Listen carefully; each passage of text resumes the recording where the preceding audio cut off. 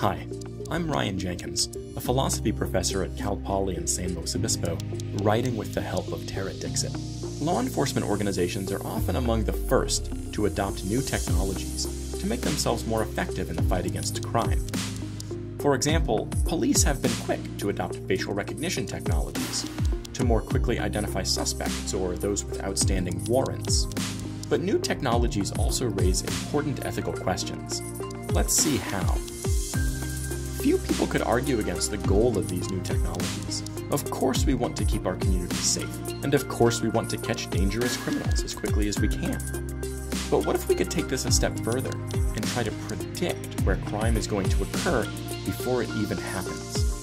For example, police have known for a while that crimes tend to be concentrated in certain areas in a city. For example, you can see that there were more murders or burglaries in Brooklyn than on the island of Manhattan. It's reasonable to expect that more crimes would happen, say, when a crowd of revelers files out of a sports arena after a game, or that crimes might happen on a street lined with bars right around 2 or 3 a.m. when the bars close.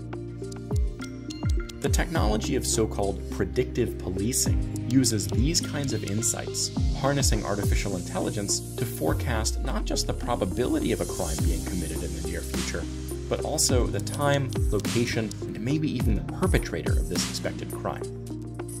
Some types of this AI are based on location data. They might, for example, divide a city into a grid of 500 by 500 foot squares and identify hotspots where crimes are expected to occur based on data like historical crimes, weather, or other urban features like abandoned buildings, liquor stores, and large parking lots, which can provide attractive opportunities for criminals. Police departments, including the LAPD and the NYPD, have used these technologies to encourage police officers to patrol near predicted hotspots. The thought is, and the data show, that police presence in these areas can tamp down crime, at least for a few hours. According to LAPD police officers, having a law enforcement presence in hotspots is proactive and prevents crime from occurring. Other cities around the country are also noticing a difference. After using a version of the technology, burglaries in Santa Cruz declined significantly, and crimes in Atlantic City were reduced drastically. In addition, predictive policing allows police departments to save money and time and optimize patrol resources, with some departments saving tens of millions of dollars in the course of a few years. So, predictive policing makes sense as a strategy. There's evidence that it reduces crime, and it's likely to save police departments and ultimately taxpayers a lot of money. What could be wrong with this technology? The major worry is that predictive policing could exacerbate the already unfair policing of minorities. It could help to justify wrongful arrests, and it could disproportionately target low income communities. For one thing, think about the historical data that these systems are trained on. We have good reason to think that a lot of this data reflects the biases of past police behavior. While the law is supposed to treat us all equally, we know that it's not always enforced equally, and that minorities can be scrutinized or punished more severely than whites. For example, we know that blacks are arrested more often than whites for crimes like drug possession, even though whites and blacks use drugs at about the same rates. If you feed skewed arrest data like this into an AI system, it's going to learn that blacks tend to be more dangerous, which is not true. The predictions generated would recommend that officers spend disproportionate time policing minority neighborhoods, where they're liable to encounter people committing crimes, generating more disproportionate arrest data, and so on. This creates a harmful feedback loop. The result is that police presence in these areas is ratcheted up or increased more and more until the effects are disproportionately concentrated in minority communities. Of course, these AI systems are never fed data about race directly, that would likely be illegal, and it would surely be unfair.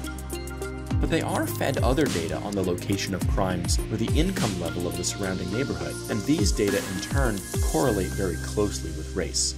This could make the systems biased by proxy. While we think that data about crime might be objective, that's not really clear either.